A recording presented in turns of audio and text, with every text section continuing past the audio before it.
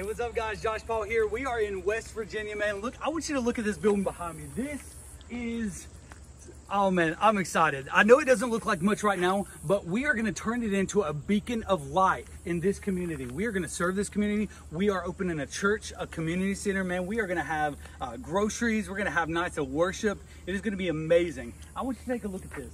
This, we can get this building and get it opened up not only just to buy the building, but also to renovate the building for $35,000. I want you to go to anchorridge.org. Help us do this. This is the same town where Curtis lives. This is where we do many building repairs. This is where we deliver, gosh, tons and tons and tons and tons of groceries. And so this is going to be a huge blessing to this community. Give us a call. It's 1 800 722 8714. You, men, $35,000. I know you can't see the whole building from here, but it's it's two stories so people can sleep in the top of it, you know, as bunks when we're fixing up people's houses. And then in the bottom, we are going to praise the name of Jesus through the church and through discipleship programs. And um, man, it's just going to be awesome. Go to anchorridge.org. And um, if you're just now seeing this video, maybe we're already moving along on it. And uh, go check out the progress. God is amazing. He is moving in these mountains. And this is phase one of a phase two system that we're implementing here in West Virginia to serve these people. Go to anchorridge.org to get involved. We love you guys. God bless you.